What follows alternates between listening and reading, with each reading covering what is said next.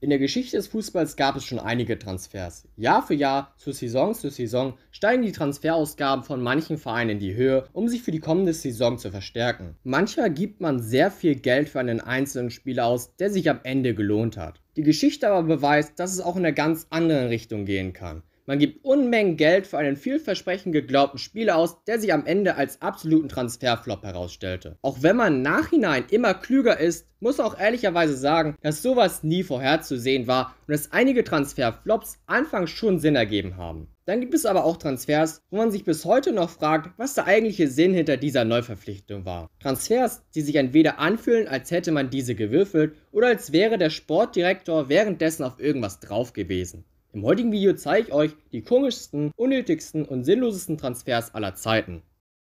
Nummer 6. Kevin Prince Boateng zum FC Barcelona 2019.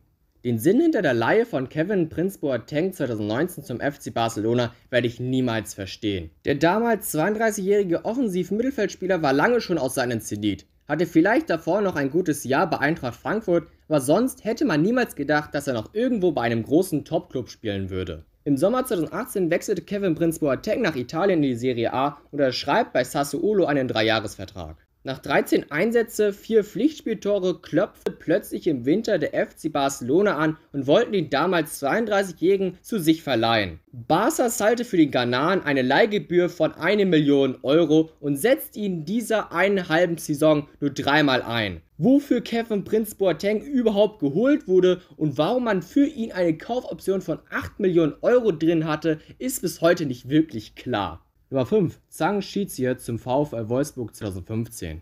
Ein Transfer, wo ich mich schon als kleiner Wolfsburg-Fan gefragt habe, warum? Ist dieser von Zhang Zize oder Zize Zhang zum VfL Wolfsburg. Mit 24 Jahren wechselte der Mittelfeldspieler von Beijing Goan 2015 zum VfL Wolfsburg für eine Ablöse von 1,5 Millionen Euro. Wolfsburg wechselt ihn kein einziges Mal ein und verkauft ihn nach einem halben Jahr wieder nach Beijing für 2 Millionen Euro. Wenn man denkt, dass der Transfer anfangs sportliche Gründe hatte, der liegt falsch. Die Vorstellung von Zize Sang beim VfL Wolfsburg wurde live im chinesischen Staatsfernsehen übertragen und erreichte in der Spitze 44 Millionen Zuschauer. Am Ende gewann Zize Zhang ohne Einsatz den DFB-Pokal und sein Transfer ist heute nur als riesiger PR-Gag bekannt.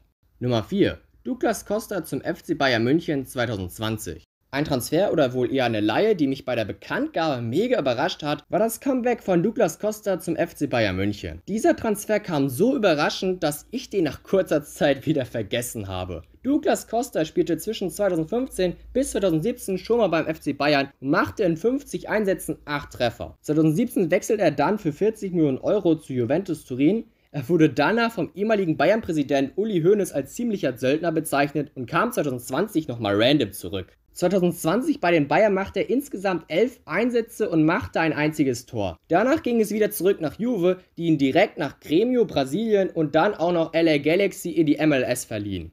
Nummer 3. Jack Grealish zu Manchester City 2021. Ich bin ehrlich zu euch, ich finde Grealish gar nicht mal so schlecht und als er noch bei Villa spielte, fand ich ihn absolut underrated meiner Meinung nach und hätte ihn auch bei einem größeren Club gesehen. Aber der Transfer im Sommer 2021 von Jack Grealish für 117,8 Millionen Euro zu Manchester City habe ich aber wirklich nicht verstanden. Nach dem Abgang von Sergio Aguero zu Barca wollte City einen richtigen Stürmerersatz holen, nachdem aber Harry Kane in Tottenham festgehalten wurde und aus dem Haaland-Transfer nichts wurde, hat man anstatt auf Gabriel Jesus zu setzen, lieber für über 100 Millionen Euro Jack Grealish aus Birmingham geholt, der sich keine ordentlichen Fußballschuhe leisten kann. Spaß beiseite. Am Ende hat man doch Erling Haaland ein Jahr später aus Dortmund geholt und da hätte man sich Grealish schon sparen können.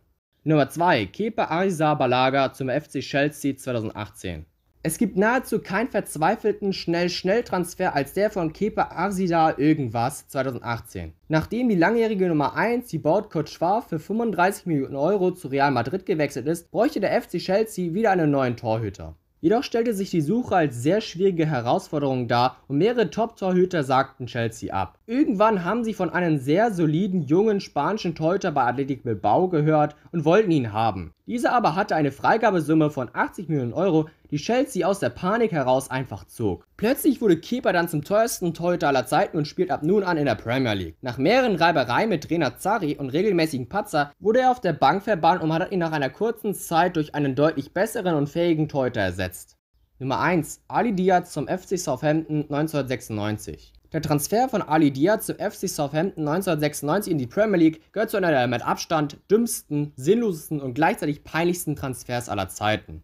Ali Dia ist für die, die ihn noch nicht kennen, ein stinknormaler Amateurfußballer aus dem Senegal, der einmal kurz in Lübeck in der zweiten Fußball-Bundesliga gekickt hat und sonst eigentlich nur im Amateurfußball aktiv war. Eines Tages macht er zusammen mit einem Kollegen einen Telefonstreich und ruft Graham Souness, den Cheftrainer vom FC Southampton, an. Am Telefon gab sich da eine Freude als der liberianische Nationalspieler und FIFA-Weltfußballer George Weah aus und empfahl Ali Dia zu verpflichten. Er behauptete, dass er sein Cousin sei, dass er schon für PSG gespielt hat und 13 Länderspiele für sein Land absolviert hatte. Obwohl nichts davon überhaupt stimmte, hat es der Trainer von Southampton tatsächlich geglaubt und verpflichtete Dia für nächst einen Monat. Auch wenn die Leistungen von Ali Dia im Training offensichtlich scheiße waren, hatte Southampton ihn aufgrund der massiven Kaderprobleme im Verein gegen Leeds United auf der Bank gesetzt. Am Ende bekam er sogar in der 32. Spielminute sein Profidebüt und hatte sogar eine gute Torchance. Irgendwann merkte auch der Trainer, wie schlecht Ali Dia in Wirklichkeit ist und hat ihn nach 53 Spielminuten wieder ausgewechselt. Die Vereinsführung entließ Dia im Anschluss vorzeitig aus seinem Vertrag und man hat ihn danach nie wieder in der Nähe des Profifußballs gesehen.